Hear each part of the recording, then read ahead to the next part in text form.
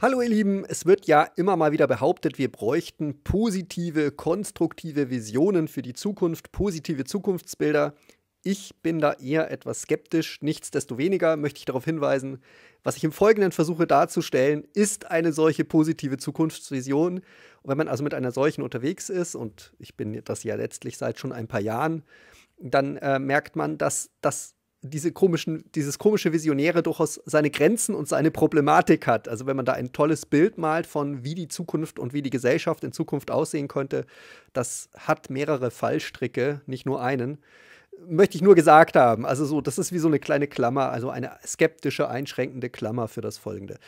Ähm, ich möchte darauf hinweisen, dass Politik sich auch oder vielleicht vor allem als Lebensform betrachten lässt. Und wenn wir das tun, also wenn wir sagen, Politik ist eigentlich ein Gesellschaftszustand oder eine Art von Menschen zusammenzuleben, dann bedeutet das automatisch, dass das nicht eine Lebensform von ein paar wenigen ist, die diese, diese wenigen sich zum Beispiel willkürlich aus privater Willkür selber ausgesucht hätte. Nach der Devise, ich gehe in die Politik, ich engagiere mich politisch. Das ist nicht das, was die politische Lebensform bedeutet. Die politische Lebensform ist ein Gesamtgesellschaftszustand. Also etwas, was wir tatsächlich nur alle, alle, alle gemeinsam realisieren können. Anders kommt eine politische Gesellschaft nicht zustande. Also das heißt, es gibt nicht eine Teilgruppe oder eine kleine Sekte von Menschen oder eine Partei, die, die selbst die politische Lebensform realisieren könnte, sondern das kann nur eine Gesellschaft als Gesamte, die eben beschließt, gemeinschaftlich beschließt, so schwer das heute auch vorstellbar ist, ähm, eine andere Form des Zusammenseins und Zusammenlebens zu realisieren, in der eben jeder Mensch auch ein zugleich neben seinen privaten Aktivitäten auch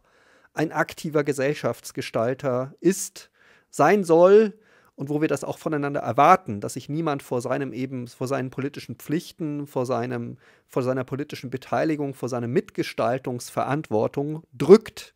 Also das wäre eben eine Gesellschaft, die im, im antiken Sinne Idiotie nicht duldet. Wer das nicht weiß, ich habe es schon in tausend Videos erwähnt, glaube ich, äh, der Idiotes im klassischen Sinne, also das, wo unser Wort Idiot herkommt, bedeutet ursprünglich nicht einfach dummer Mensch oder sowas. Es bedeutet vor dem Hintergrund einer politisierten Gesellschaft jemand, der willkürlich sich seinem politischen Dienst entzieht, der so willkürlich sich dafür entscheidet, ein reines Privatleben zu führen in einer politisierten oder eben politischen Gemeinschaft oder Gesellschaft. Und das ist das, was ein Idiot ist. Also jemand, der sich, der sich aus dem Politischen heraushält, obwohl die ganze Gesellschaft daraufhin angelegt ist, dass eben alle ihren politischen Pflichten nachkommen, ihren politischen Dienst tun. In dem Sinne zum Beispiel ist ist der Olle Sokrates einer der ersten vorsätzlichen erklärten Idioten gewesen. Der viel gelobte, hochgelobte Sokrates, ja. Eine hochproblematische Gestalt, die viel problematischer ist als das äh, unsere heutige, immer noch von der Philosophie angekränkelte Zeit äh, wahrhaben will. Wer das nicht versteht, warum ich hier so polemisiere gegen Sokrates und eigentlich, eigentlich nicht Sokrates, sondern Platons Darstellung des Sokrates, äh, die Philosophie hat sich immer gegen das Politische institutionalisiert. Es gibt also am Anfang der Philosophie eine große Konkurrenz zwischen der politischen Daseinsform und dem philosophischen Leben, also zwischen dem politischen und dem philosophischen Leben. Und leider hat sich historisch das Philosophische gegen das Politische durchgesetzt. Also wir sind die Erben und leben das auch heute noch einer, einer, einer, einer Überbietungsstrategie, die leider aufgegangen ist. Also das, wir sind eine durchphilosophierte Gesellschaft, auch wenn das heute nicht so empfunden wird. Aber Platon war, äh, muss wirklich sagen, menschheitshistorisch auf der ganzen Linie erfolgreich. Und das war er aber gegen das Politische. Deswegen leben wir eben heute auch nicht in einer politischen Gesellschaft, sondern in einer privatistischen, wo wir auf, fokussieren immer auf die Entscheidung des Einzelnen und die Haltung des Einzelnen und die Entfaltung des Einzelnen und all das, während das Gemeinschaftliche, das in der politische, äh, im politischen Leben realisiert wird, also wo sehr viel mehr der Fokus ist, wir setzen uns zusammen und fragen uns, wie sollen die Regeln sein, wie sollen die die äh, Gesetze sein, wie sollen die Verfahren sein, wie soll die Verfassung sein und das als fortgesetzte, beständig wiederholte Frage, also die nicht ein, einmal abschließend geklärt ist, sondern wo eben politische Aktivität ein, ein fortgesetzte Praxis ist, ein fortgesetztes Tun ist. Diese Gesellschaft ist und das könnten wir vielleicht heute gerade etwas nachspielen, extrem entlastend für das Private. Also während eine privatistische Gesellschaft, die Gesellschaft, zu der eben die Philosophie geführt hat und in der wir heute leben, eine Gesellschaft ist, in der das Private völlig überfrachtet ist, also in der vom Privatleben Dinge erwartet werden und von der privaten Eigeninitiative, die dieses Privatleben niemals einlösen kann und die das aus privater Eigeninitiative niemals gelingen oder erschaffen werden kann, ist eine politisierte Gesellschaft eine Gesellschaft, die im Privaten sehr viel freier ist, weil sie im Privaten bestimmte Dinge nicht mehr erwartet. Also nicht mehr erwartet, dass im Privaten bestimmte Dinge überhaupt erfüllt werden können oder ähm, äh, gelöst werden können oder erschaffen werden können. Das ist also eine Gesellschaft, die sozusagen zwei Modi kennt statt nur einem. Eben den Modus des Politischen und den Modus des Privaten. Und jeder hat beides, ein Privatleben und ein politisches Leben. Und das heißt, das Politische ist anders, als man das meinen könnte, keine Negation des Privaten, ja, oder also sozusagen im Sinne von, wir haben alle kein Privatleben mehr oder sowas und äh, sind nur noch politisch, sondern es bedeutet, dass äh, wir eine Form der Sphärenteilung oder Arbeitsteilung zwischen zwei verschiedenen gesellschaftlichen Räumen haben. Einmal eben den Raum des Privaten und einmal den Raum des Politischen. Und im Politischen geben wir uns alle selbst den Rahmen, der, ähm, wie soll man sagen, dann für private Entscheidungen vollkommen frei ist, weswegen dann das Private auch sehr viel freier gelebt werden kann. Das ist tatsächlich ein Gesellschaftszustand, so problematisch das heute scheinen mag, in dem der Satz, alles, was nicht verboten ist, ist erlaubt, sehr viel mehr gelebt werden kann, weil tatsächlich auch mehr verboten ist. Und diese Verbote, die durch das Politische möglich werden, sind aber keine Zumutung oder keine Belastung oder keine Gängelung oder kein Zwang oder keine Fremdbestimmung, weil eben diese Verbote von den Menschen selbst erlassen werden. Das sind also Selbstverbote, Selbststeuerung, Selbstregulation, also Gesetze, wo wir selber sagen, wir wollen das so haben. Irgendwas soll verboten sein. Keine Ahnung, ich erfinde jetzt was. Äh, zum Beispiel, wir verbieten uns selbst, bestimmten Müll in Flüsse zu kippen. Oder wir verbieten uns selbst, ohne Gurt im Auto unterwegs zu sein oder so. Das sind Verbote, die aber unproblematisch ist, sind, wenn sie eben nicht von einigen wenigen allen anderen aufoktroyiert und auferlegt werden, sondern wenn wir sozusagen in einer Gesellschaft leben, die eben allgemein politisiert ist und in der die Gesetzgebung selbstverständlich, die Gesetzgebungsfunktion von allen wahrgenommen wird, statt eben nur von einigen wenigen, auf welchem Verfahren auch immer wir diese wenigen bestimmen. Ja, durch Erbadel, durch Wahlen, durch Gewalt. Das ist letztlich aus der Sicht einer politisierten Gesellschaft total zweitrangig, wie diese wenigen, die Oligoi oder die Aristokraten bestimmt werden, die dann eben die Gesetze machen. Das Entscheidende ist eben, es machen nicht alle die Gesetze. Also das ist die Grundunterscheidung zwischen eben einer aristokratischen und einer demokratischen Gesellschaft. In einer demokratischen Gesellschaft machen alle die Gesetze und zwar alle gleich viel, niemand mehr, niemand weniger. Das ist eben eine Gesellschaft, die Laienpolitik positiv konnotiert statt wie heute, lass das mal die Profis machen und Laienpolitik ist, wird als hochproblematisch gesehen. Und äh, die eben sozusagen es normalisiert, dass alle Menschen eben aktiv bestimmen, wie die, wie die Regeln der einer Gesellschaft sein sollen. Und die Folge ist dann, weil wir dadurch sehr viel mehr regulativer sein können, weil wir eben nicht in einer Gesellschaft leben, wo eine beständige Gefahr, Gefahr der Fremdbestimmung besteht, sondern eben die Gesetzgebung als Selbstbestimmung gelebt wird und auch erfahren wird, dass wir dann den Satz, alles, was nicht verboten ist, ist erlaubt, sehr viel mehr leben können und eben auch nicht mehr äh, eben der privaten Ethik Dinge überlassen, die die private Ethik niemals leisten kann, weil wir es eben tatsächlich durch Gesetze regeln. Ja? Durch Gesetze, die wir aber selber erlassen, die nicht andere für uns erlassen, wo das Politische eben nicht delegiert wird und auch nicht professionalisiert wird und zwar aus gutem Grund nicht. Und das ist eine Gesellschaft, die eben auch nicht versucht, über Ethik zu lösen, was in der Politik sehr viel besser aufgehoben ist. Also eine politisierte Gesellschaft ist eine ethisch entschlackte Gesellschaft und das ist gut auch für die Ethik und auch für das Privatleben. Das ist also sozusagen eine sehr viel gesündere Gesellschaft, die eben auch das Politische kennt. Und wie gesagt, mein Standpunkt ist, unsere heutige Gesellschaft kennt das Politische gar nicht. Wir haben keine Politik. Wir haben etwas, was wir irrtümlich so nennen, so wie wir auch etwas haben, was wir irrtümlich Demokratie nennen, was aber keine Demokratie ist. Das sind also einfach Begriffsverwirrungen, die sich in der Neuzeit, in der Moderne eingebürgert haben, eingeschlichen haben, entwickelt haben, die wir dringend korrigieren müssen und dringend zurückdrehen müssen auf das es möglich wird, dass wir eine politisierte Gesellschaft schaffen, die eben nicht als Zumutung, als Gängelung, als Zwang, als Gewaltform erlebt wird, als Unterdrückung erlebt wird, sondern als eine Form, wo wir sozusagen alle sehr viel freier sind. Im doppelten Sinne A, weil wir nicht unter fremden Gesetz leben, unter Gesetzen, die andere für uns erlassen, nicht in einem Zustand der Fremdbestimmung leben. Das ist Freiheit Nummer eins, die wir in einer politisierten Gesellschaft, in einer Polis als Lebensform realisieren. Und das zweite, was die zweite Form der Freiheit, die wir auch realisieren, ist die Form, dass wir sozusagen im Privaten sehr viel freier werden. Ja? Weil wir sozusagen nicht versuchen, über moralische und ethische Kategorien zu lösen. Also wir sozusagen, wir werden in einem positiven Sinne sehr viel unmoralischer.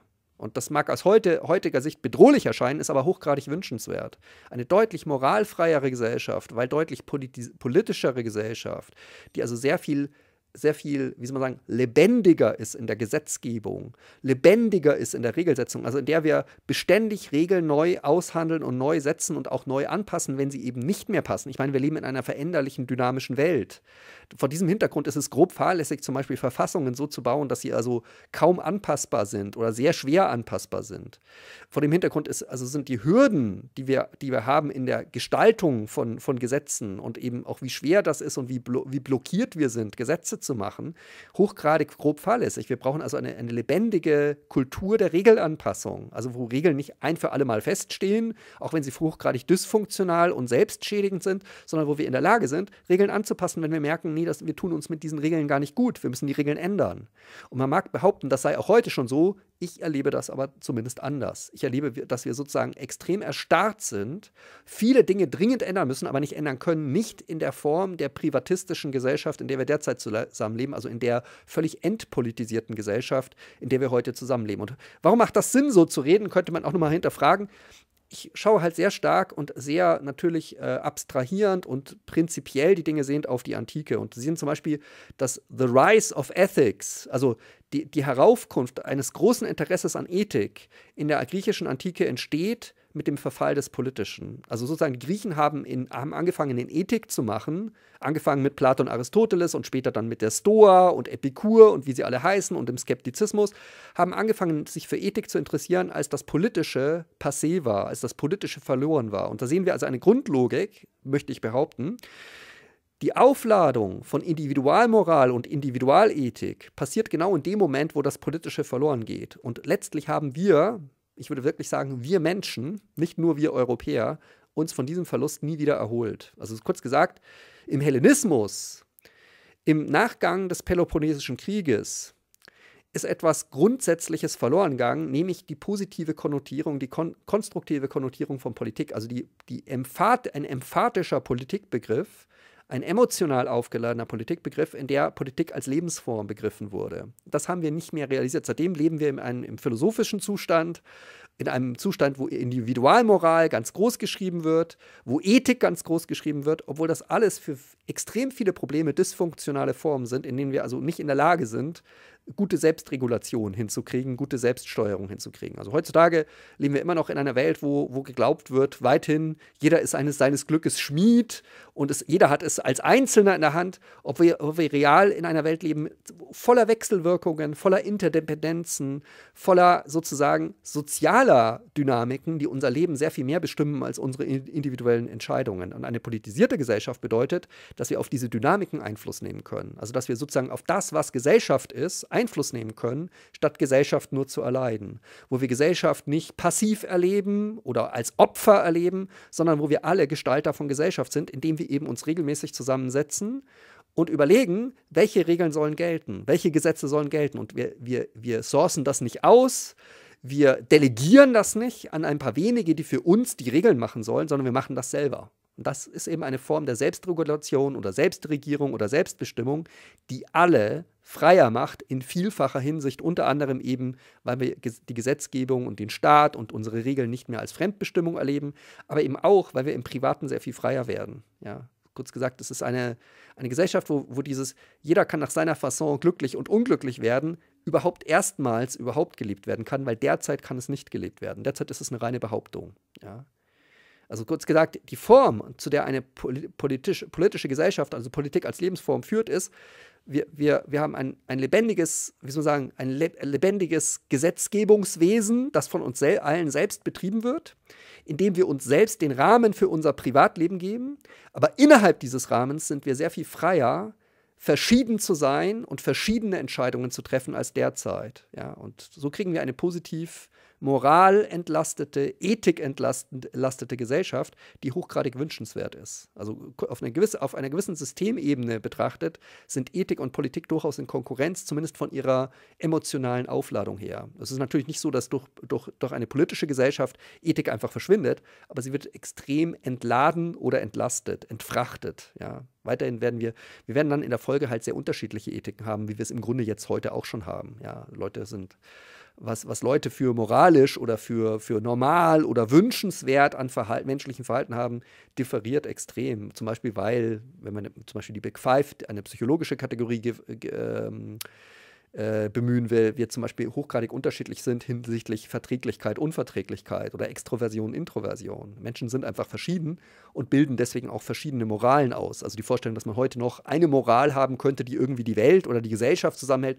ist vor dem Hintergrund unserer hochgradigen Unterschiedlichkeit, wie unterschiedlich wir sind, schon von Geburt an, aber auch durch die Familien, in die wir äh, geboren werden und durch die sehr unterschiedlichen Eigentumsverhältnisse, in denen wir unser Leben verbringen, einfach absurd. Ja, wie sollten wir heute noch in dieser Verschiedenheit eine Moral oder eine Ethik ausbilden können? Das ist überhaupt nicht naheliegend. Ja.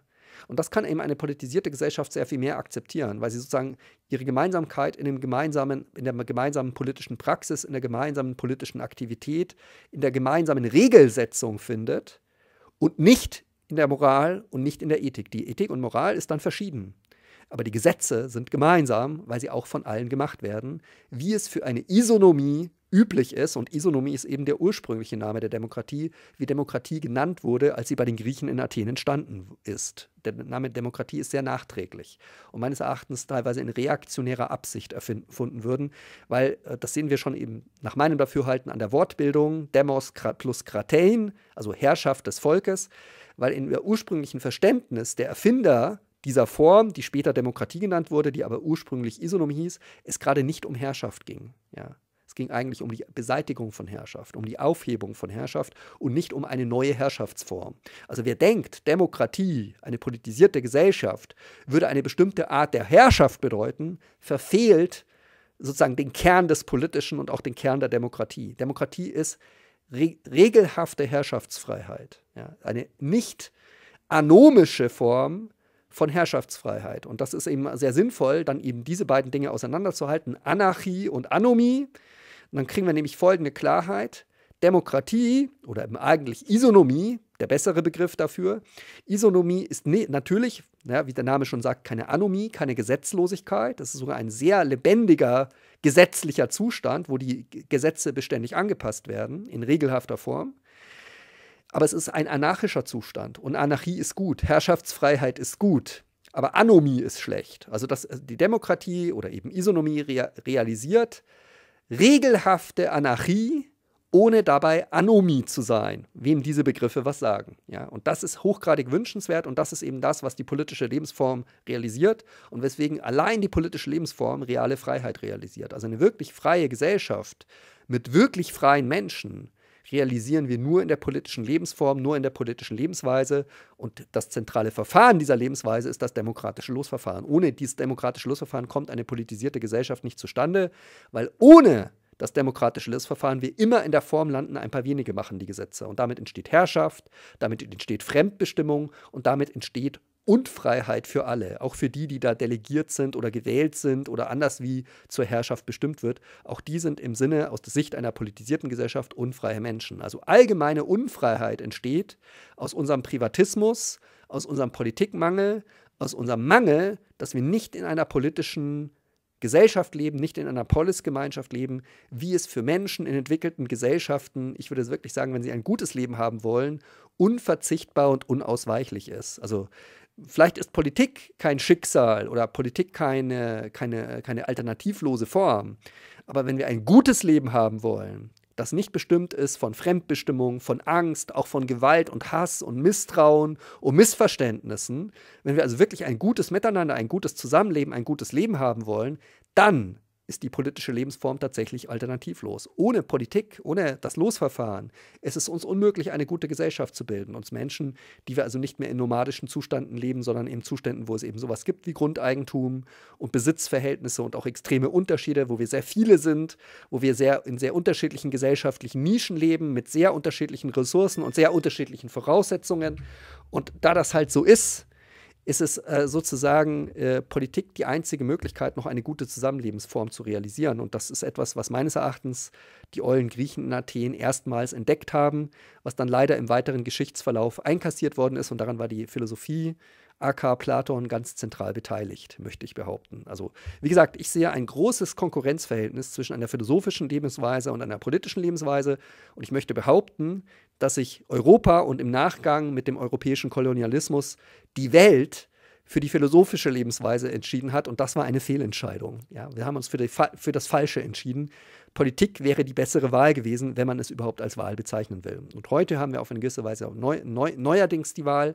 Also wir können heute eine politisierte Gesellschaft schaffen und ich möchte behaupten, dass es allen, tatsächlich allen Menschen in einer Polisgemeinschaft besser geht, als in den Formen von Privatismus, die wir derzeit überall auf der Welt lückenlos leben. Also wir leben in einem global privatistischen Zustand. Über alle Menschen. Kein Mensch hat heute ein politisches Leben. Kein einziger.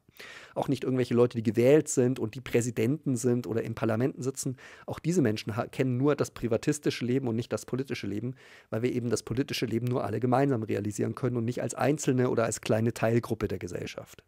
Also heute wenn es die politische Lebensweise geben soll, muss sie voll inklusiv sein. Das heißt tatsächlich alle Menschen einschließen. Und das heißt, Operativ, alle Menschen sind im Lostopf, um, entscheidende, um, um die Besetzung entscheidender Gremien. Das ist eben die Gleichbedeutendheit von, von politischer Lebensform und Losdemokratie. Ja, das sind für mich mittlerweile Synonyme. Ja, Losdemokratie bedeutet eine politische Lebensform und das Fehlen von Losdemokratie bedeutet, wir haben keine Politik, sondern nur Privatismus und damit eine Überstrapazierung von Ethik und Moral, vor der wir immer wieder, vor deren Hintergrund wir immer wieder in Zynismus kippen, weil wir eben das, was Moral und Ethik überhaupt leisten kann, überfrachten und überfordern. Und das ist ein beständiger Zustand in unserer Gesellschaft. Also nicht ein vorübergehender Zustand oder ein Zustand, der wenige betrifft, sondern ein allgemeiner Zustand. Wir leben im Privatismus und das ist schlecht für uns alle, möchte ich behaupten. Citerum censio Isonomiam esse sortiendam. Im Übrigen erkenne ich die Tatsache an, dass die Isonomie, die Demokratie, die Politie gelost werden muss.